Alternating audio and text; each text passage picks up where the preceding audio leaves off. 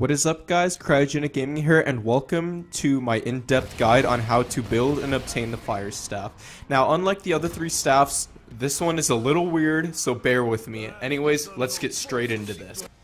The first thing that you're going to want to do is come over to generator 6 at the back of the church and power it up. Complete the generator process as you do for the other generators and once it's done, look to your left and you'll see one of the soul boxes that's similar to spawn. Instead of collecting souls, it'll give you a reward. As you can see, there's one piece of the staff in it. So go ahead and take it. And while we're here, I'll also show you where the three locations for the fire disc are. The first location of the disc is going to be right here on these crates, right next to generator 6, where mine happened to be. The next one is going to be on the upstairs in the church, right on these chapel benches. It should be right here.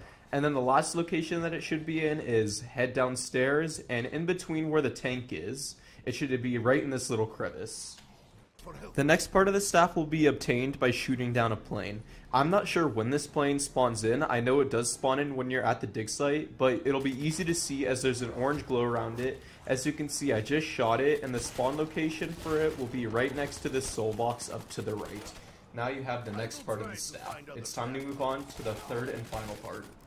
And finally, the last part of the staff will be obtained by killing the Panzer. He will spawn in on round 8, and to kill him, I highly, highly recommend that you already have one of the staffs built. It doesn't matter which one, as it's round 8 and the Panzer is pretty weak. But as you can see, he dropped the final piece, and now it's time to get the crystal from the crazy place.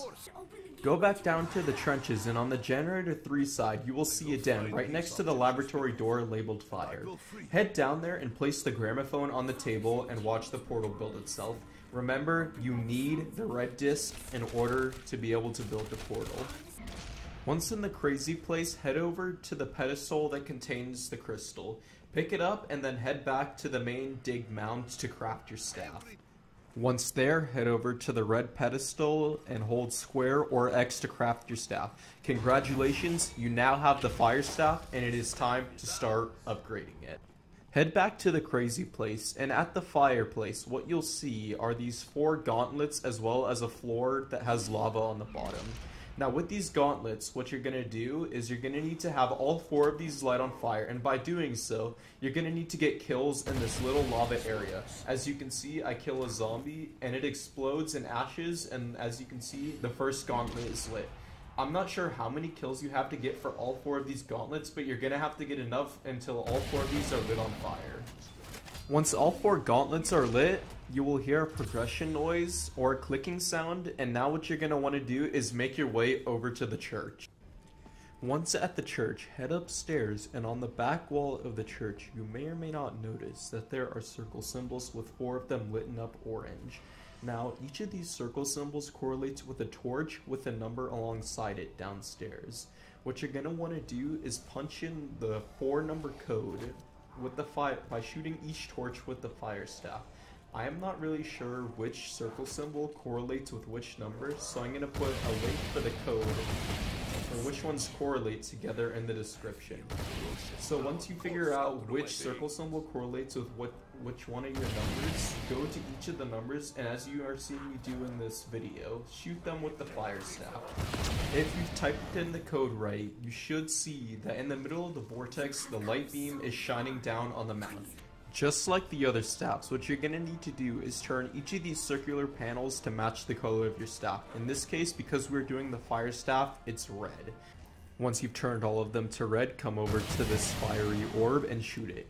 You'll know if you did this right if all of the four panels light up and the ball flies up into the heavens. You are now ready to move on to the final step.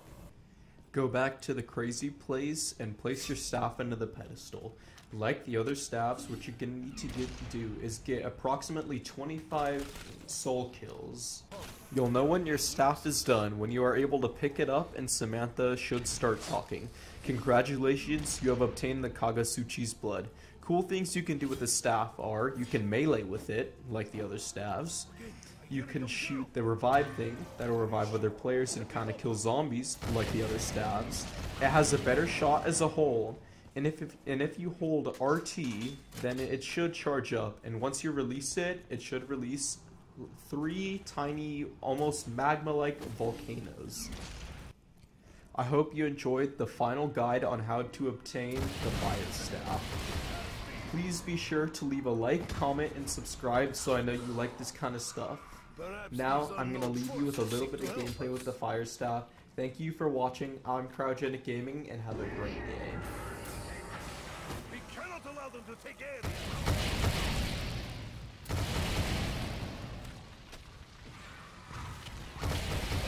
Cause my own survival.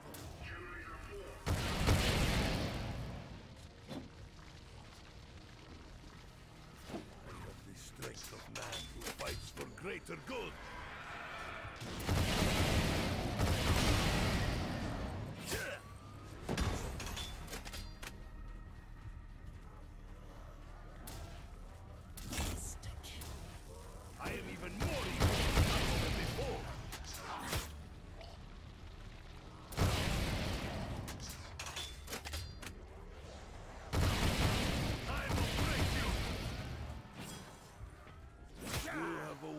The sleeping bear.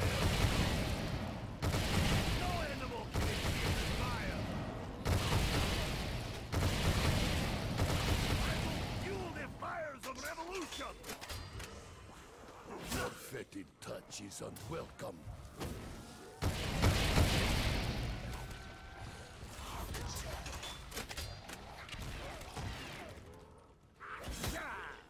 There is nothing you can do to stop my advance.